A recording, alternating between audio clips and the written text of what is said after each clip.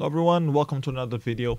Another Vainglory update is about to roll out. There are some uh, significant hero balance changes this time around, so let's do another video. Go through them, see what makes sense, what doesn't make sense, and as always, you guys can leave your comments below, see what you agree with or you disagree with uh, from my analysis. So let's get started. Uh, the first hero getting changed is Baptiste. Baptiste is getting a slight buff, apparently. Uh, both his perk and his bad mojo are going to start doing a little bit more damage. Uh, mostly CP Baptiste is to get buffed with this. I think it's okay. I mean, Baptiste was alright in the game, it's just a little quality of life uh, for him. It doesn't really bring Weapon Baptiste uh, fully back as I was hoping for, but uh, definitely CP Baptiste is a lot more viable now. Uh, next hero up, uh, Baron, also got a buff. Uh, small, really small quality of life changes on the range, on the armor, on the shield. Like, these values are like so small, they don't really change much in practical terms. Uh, the Porcupine Mortar also has less uh, energy cost uh, overall. So um, trying to give a little bit of help to Baron to get him back a little bit more into the meta. I would consider him like an A tier uh, player for the bot lane. Uh, the S tier ones being probably uh, Kinetic, Blackfeather, and uh, some other melee uh, heroes. Anyways, let's not do the list. Let's keep going on the on the changes.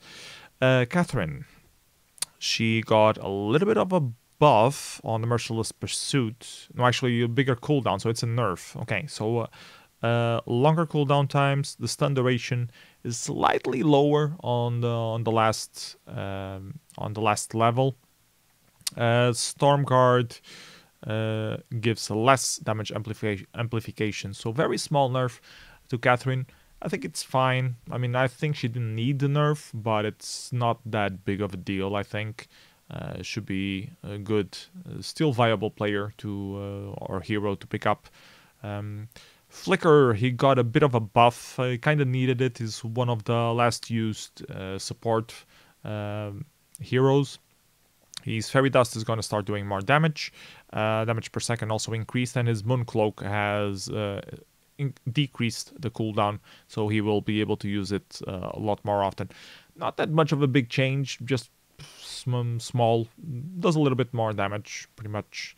Um, Grumpjaw is one of my favorite characters to play right now.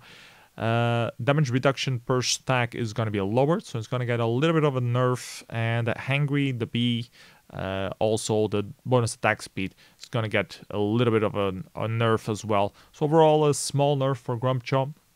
I think it's fine. He was a bit overpowered, especially on 3 versus 3. Uh, on 5 versus 5, Grumpjaw is most mostly an early game kind of hero. On late game, you kind of decay, and you're better off uh, switching completely to like um, a tank meta of some sort, where you actually become utility with Grumpjaw instead of actually trying to do some actual damage on it.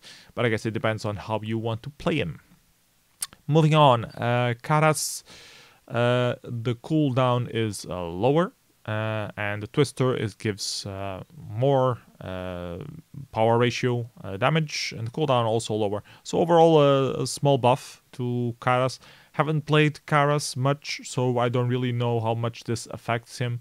I assume it won't affect him much. I hear that Karas main source of damage is his ultimate. So I don't know. Uh, if you guys play Karas let me know how you feel about this uh, change and let's keep going on the list Kestrel, she got a little bit of a nerf. Uh, her uh, Glimmer Shot will now do 5% less damage.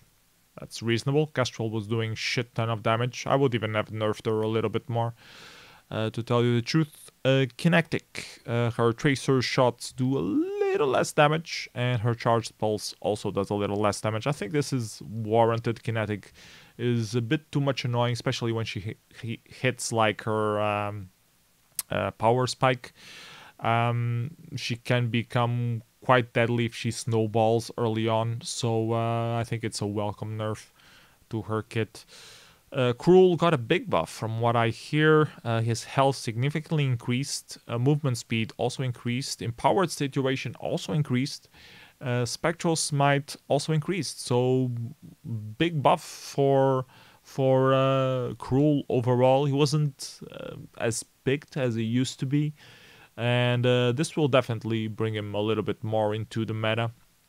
I think for three versus three is going to be a lot more uh, useful. You will probably be able to see a lot more of the old Krul style of play where you just accumulate stacks and you try to out sustain the team fight. Um, for 5 versus 5, that's not very viable because you just burst with damage against your opponent. So uh, curious to see if he will be useful for 5 versus 5 or not. I think not, but that's my, my premonition. Let me know what you guys think on the comments below. Also, also one of my favorite characters, is gonna get a little bit of a buff. He amplifies more of the healing. I think that's pretty good, especially on 5 versus 5. He seems to burst out real easily, which is not the Ozo that I'm used to, especially if you're used to playing Ozo on 3 versus 3. He's supposed to out-sustain the entire team fight, which just doesn't happen. Similar to Krul, actually, which just doesn't happen on 5 versus 5 on the late game. If you're like 1 versus 2, you might be able to take some of it. If you have a support next to you, you might be able to capitalize on his uh, on his perk. But other than that, it's very hard for him to sustain on 5 versus 5 team fights. The three ring circus, his A ability will also do more damage, like 10 more damage, so it's um, significant. Okay, let's see how Ozo behaves. I'm curious to try Ozo again on the top lane. It should be an interesting uh, character to play on the top lane again.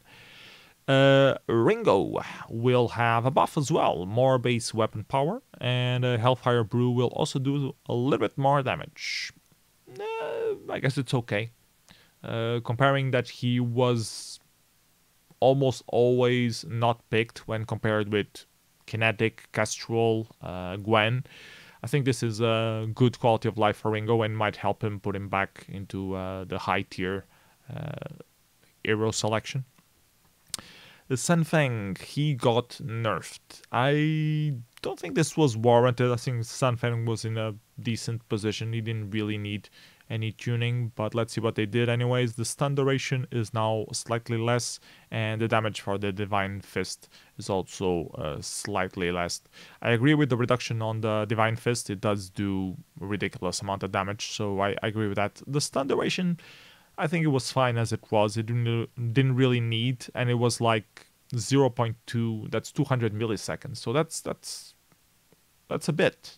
That's a bit. Like in in terms of stun, that's quite a bit. So I think this was a bit too much of a nerf on uh, on San Feng. But well, let me know what you guys think on the comments. Uh, Shin, I don't play Shin, so I don't really know how this will affect him. The slow and root cast chain range apparently significantly down. Root duration also down. Sacred Flames, his ultimate uh, got rescaled. That was a bug apparently. Have no clue if this is good or not. I assume it's a little bit of a nerf considering what happened with B, but I really don't know uh, what happened with uh, C ability here. So you guys that play Shin, please let me know how this affects Shin overall. Really stopped getting uh, first pick banned or not. Uh, Varya, um, the Stormforged Spear will do a little less damage. I don't think that's warranted. I think she was fine. The cooldown for the B is uh, slightly higher. Hmm. I don't think that's warranted. I think she was fine as she was. She didn't need this. I mean, if you compare a lot of the mid lane heroes, you have Celeste, you have Samuel, you have Skaarf, uh, you have Malene. All of them are are outpicking outpicking uh, Varya. Even Vox is being picked a lot on the mid. I didn't think Varya needed a nerf, so I think this was unwarranted, uh, especially on competitive skills. I don't know, maybe in low tier, people abuse Varya because people don't know how to play other heroes as good, but on competitive levels, I think this uh, nerf was unwarranted on Varya. Let's take a look at what they did with Viola. Viola has been one of the most overpowered heroes lately. Uh, her discord was uh, reduced. Uh, the power ballad also uh, got quite significantly more increased cooldown. This might have been too much. I agree that it needs a nerf. I don't think three seconds is adequate, though. I think uh, like just one or two more seconds would have been more than enough.